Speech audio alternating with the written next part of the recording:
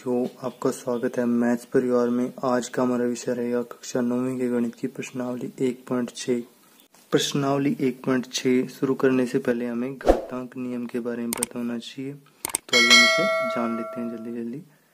तो जैसे अगर a की पावर m हो और गुना में इसके a की पावर n हो, दोनों में यहाँ पे आधार एक समान है। A है दोनों जगह तो यहाँ पे क्या होता है, अगर बेस यानी आधार बराबर हो तो जो इसकी शक्तियाँ हैं, यानी पावर्स हैं, उनका जोड़ हो जाता है, ठीक है?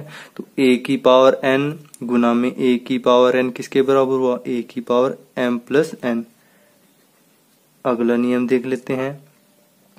अगर ए की पावर एम है और उसके ब्रैकेट में पूरी पावर एन है तो ये दोनों पावर किसकी हुई? ए की। तो हम इसको कैसे लिख सकते हैं? ए की पावर एम गुना में एन ठीक है?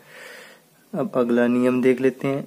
अगर ए की पावर एम है और ए की पावर एन है, अब जो पावर नीचे होती है, उसको अगर ऊपर लेके जाएँ तो वो क्या हो जाती है? ऋणात्मक।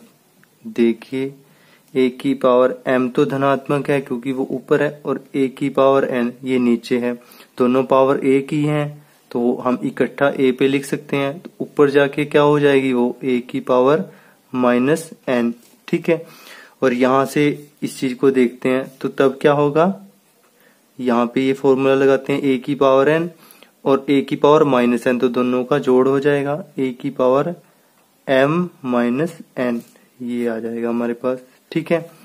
एक और नियम है छोटा हा वो भी देख लेते हैं। ए की पावर एम है और बी की पावर बी यही है एम मतलब ए और बी दोनों की पावर एक समान है। तो क्या होगा? इसको इकट्ठा लिख देंगे और पूरी की पावर एम लिख देंगे। ये चार फॉर्मूले हैं आपके पास। बिल्कुल आसान है। अगर ये आपको समझ में आ जाते हैं तो एक्सरसाइज बिल्कुल आसान है आपके लिए। आइए शुरू करते हैं पहला सवाल। आइए हम पहले सवाल के पहले पार्ट को करते हैं। पहला पार्ट क्या है? चौसठ की पावर एक बटे दो। ठीक है तो इसके लिए क्या करते हैं? सबसे पहले चौसठ के गुणनखंड कर लेते हैं। दो पे जाएगा, बत्तीस, दो पे जाएगा सोलह। दो अट्ठे सोलह, दो चौके आठ और दो दूनी चार। तो एक, दो, तीन, चार, पाँच छ तो ये दो की पावर कितनी आई? छ तो हम यहाँ पे लिख लेते हैं दो की पावर छ और ऊपर कितनी पावर है? एक बटे दो। यानी चौसठ की जगह क्या आ गया?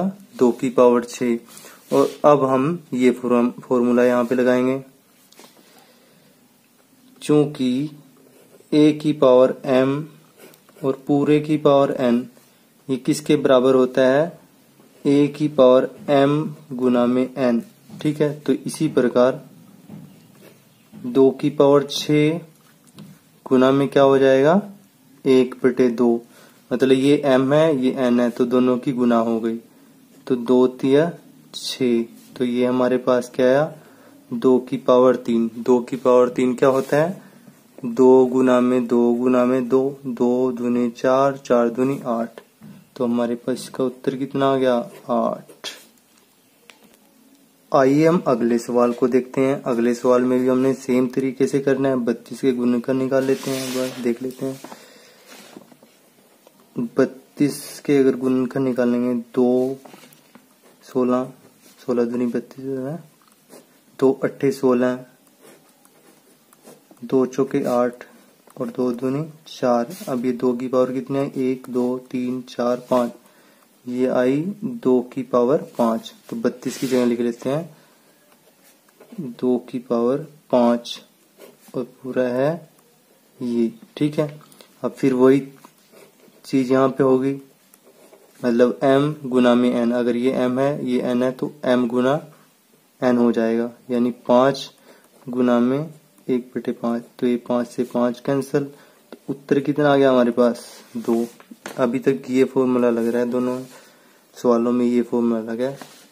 अब अगले पार्ट को देखते हैं। अगला पार्ट क्या है? 125 की पावर एक बटे तीन। बहुत ही आसान क्वेश्चन है। आइए हम इसे करते हैं। वही तरीका अपनाएँगे। 125 के गुणनकर निकाल लेते हैं।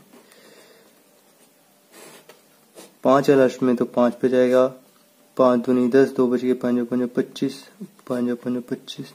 एक, दो, तीन तो पाँच की पावर तीन। गुण तो आइए हम इसको 125 की जगह लिख लेते हैं। ठीक है? और ऊपर पावर कितनी है? एक बटा तीन। तो ये क्या बन जाएगा? पाँच की पावर तीन गुना में एक बटे तीन। सेम यही फॉर्मूला लगा यहाँ पर भी। ठीक है? तीन से तीन कट जाएगा।